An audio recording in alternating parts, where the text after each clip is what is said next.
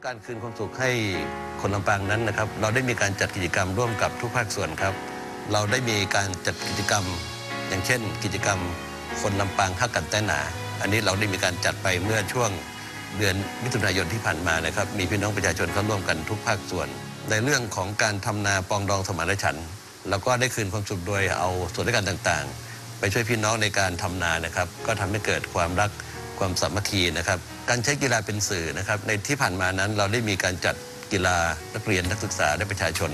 ในงานฤดูหนาวลำปาง อันนี้ก็จะเป็นการทำให้คนที่มาเล่นกีฬานะครับ ไม่ว่าจะเป็นเด็กเยาวชน และพี่น้องประชาชนทั่วไปเนี่ยเกิดความรักความสามัคคีกัน โดยใช้กีฬาเป็นสื่อ